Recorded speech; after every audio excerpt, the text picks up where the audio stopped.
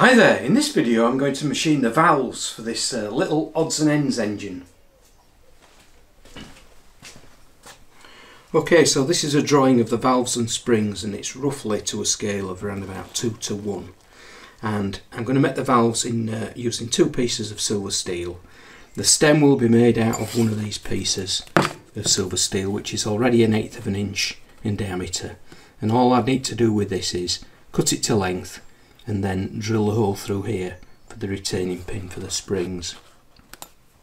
Uh, once I've done that then I'll uh, look at making the head and the head will be made out of this piece of 3 eighths of an inch silver steel.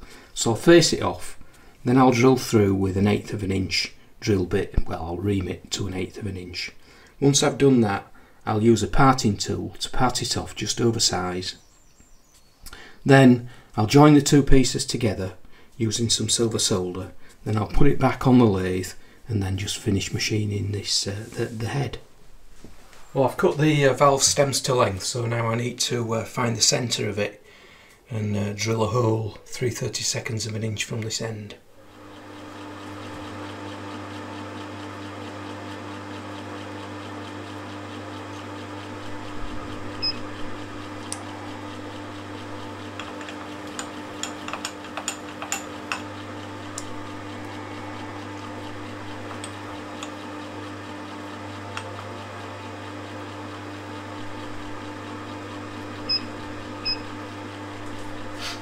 Okay, so I've decided to move it to, to the right a little bit out of the um, vise so I can offer some support with this adjustable parallel.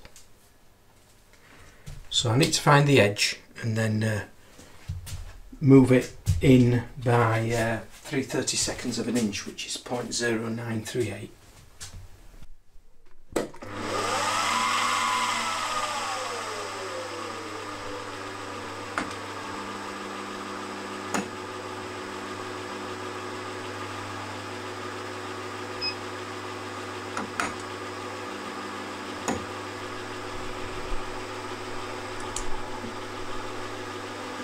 So we'll move it in uh, 3 millimeters to get the edge.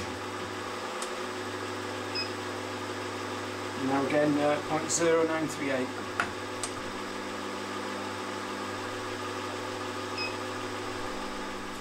And this is um, an ER11 collet chuck.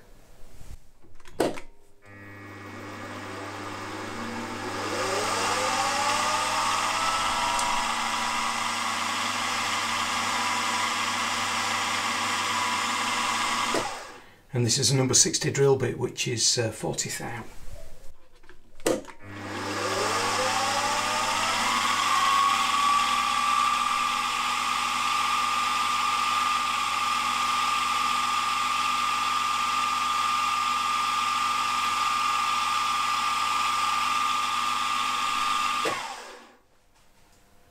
So for the head I'm just going to uh, face this end.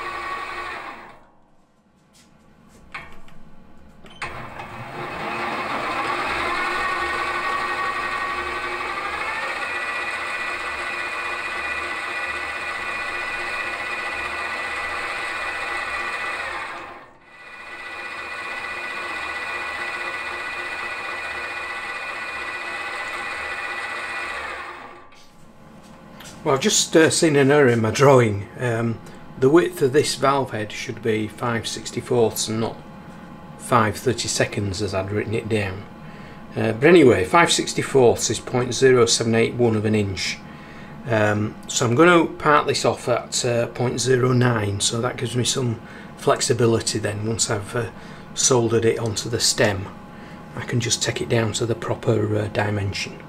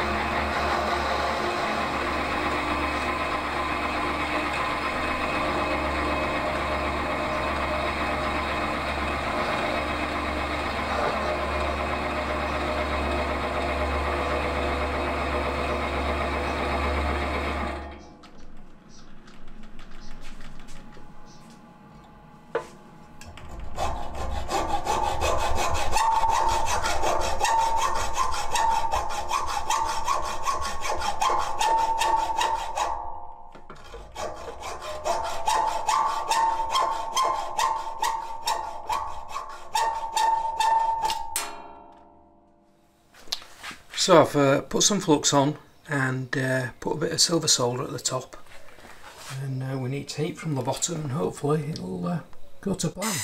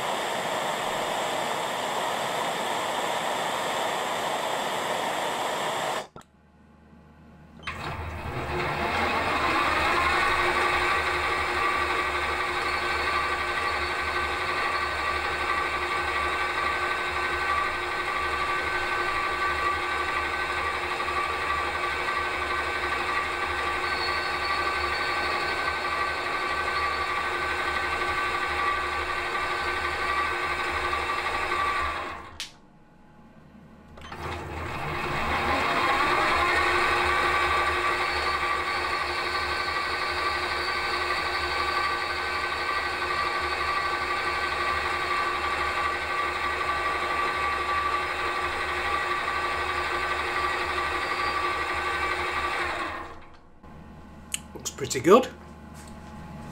Well I reckon another 12th hour to come off to bring it down to uh, 5 64ths.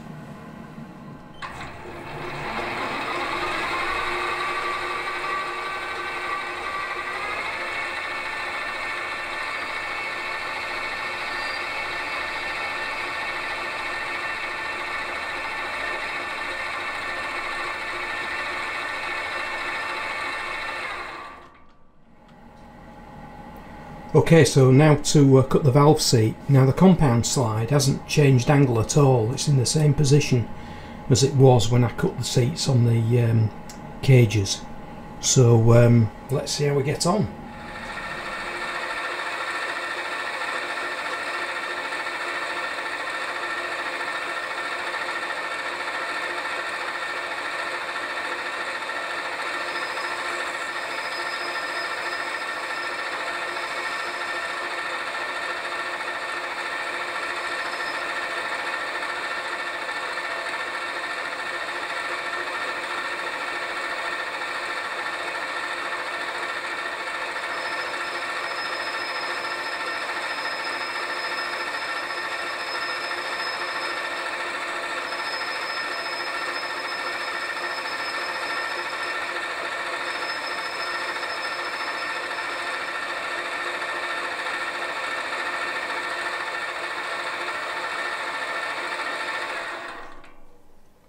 Well, those seem to have turned out okay.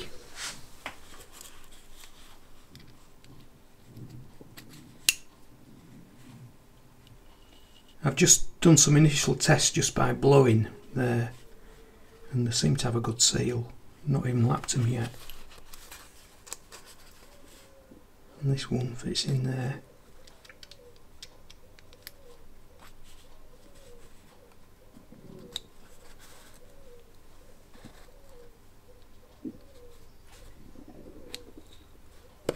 So far so uh, I need to get on and make some springs. Okay so for the exhaust valve spring um, it needs to be made out of some size 10 music wire. And uh, the overall length is uh, 1 and a 16th of an inch approximately. 11 coils with the outside diameter 5 16ths of an inch. And the intake valve spring needs to be made out of size 4 wire 12 coils, again uh, 1 and a 16th in length and um, again the outside diameter 5 16ths of an inch. Now the machinery handbook um, has got various tables in that tells you how to uh, you know what size mandrel you need to use for what size wire and stuff like that but um, I'm just going to experiment. So these are some mandrels I used when I made the springs for the Farm Boy. So I think first of all I'm going to have a go at making the exhaust valve spring using this mandrel. So this is going to be a bit rough and ready. So um, I've marked on, um, just for guidance, some increments here. There's only I think one, two, three, four, five, six, seven, eight, and I actually need 11 coils. So that'll te- that tells me that I need to make a coil at least every one of these. And I'm going to start off making uh, a couple of um, coils together.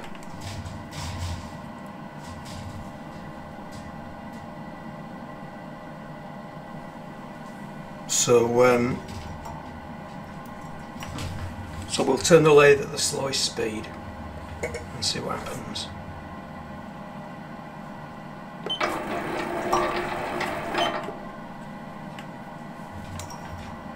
So that's the starting point.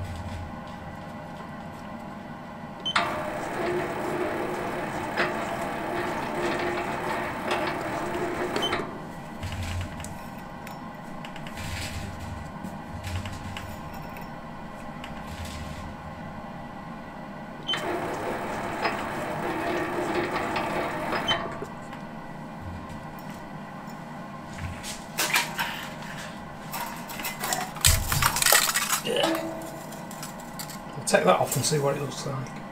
Actually, I can't believe how well that's turned out for a first attempt.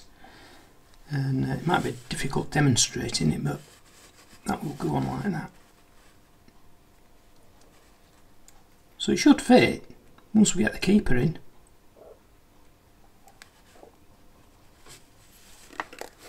So I think I'll have a go at uh, making the intake one. So the intake valve spring is a lot thinner. Uh, needs around about 12 coils on it.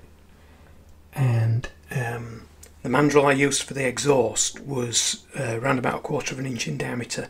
This is about 0.23, so uh, we'll give it a try.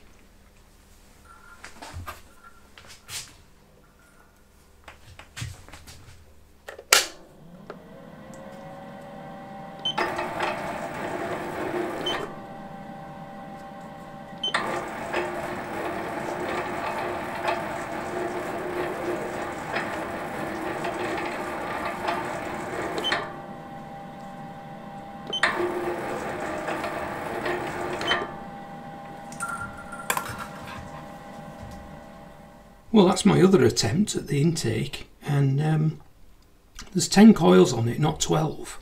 But apart from that, it looks pretty much spot on. So I think we'll give that a try. Okay, so what I've done is uh, I've uh, made a couple of valve keepers out of uh, a piece of brass. Um, they're not as elegant as in the design, but they're functional. And uh, what I decided to do to uh, give it a, a bit of a compression test so I got this piece of scrap aluminium, um, put a hole through it, soldered uh, a connector to it, and um, drilled and tapped a couple of holes to hold the assembly. And uh, I've put um, a gasket in there out of, made up a gasket out of some gasket paper, no seal or anything like that. And uh, currently the compressor is running at 50 psi and I can't hear a leak whatsoever. No leak anywhere. I've not even got the bolts holding this.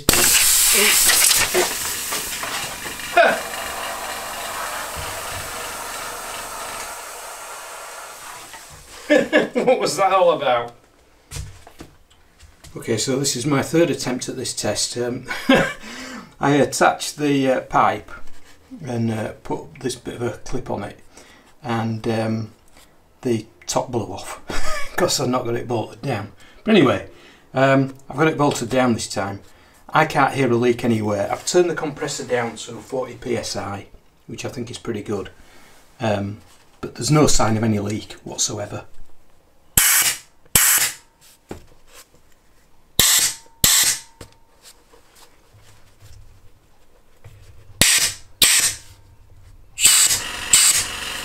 So that seems to work perfectly. Uh, what I did before the test is I um, used a bit of um, valve grinding paste to, just to lap them in. Um, it was 500 grit. I only spent about well, half a minute just doing that sideways. Um, so I'm really happy with the result.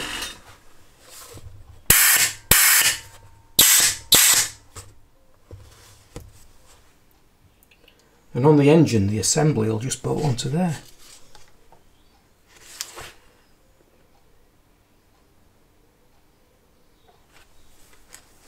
And in here you can actually see the valve seats.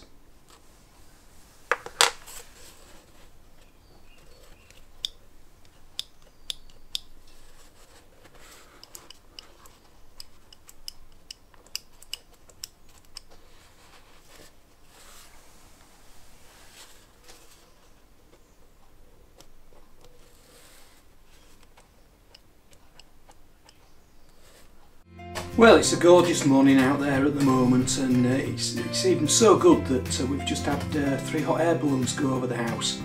And on this occasion, none of them came close to our chimney, which is a bonus.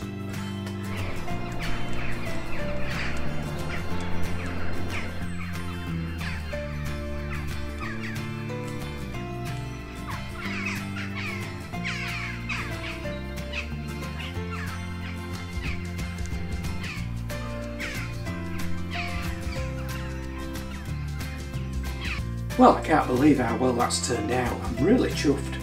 Um, no leaks whatsoever, and uh, I don't think I could have wished for a better result. And I'd like to thank everybody for the help and support and advice provided. Um, I really do appreciate it, and uh, I hope some of you found the video of interest, and I hope to see you later.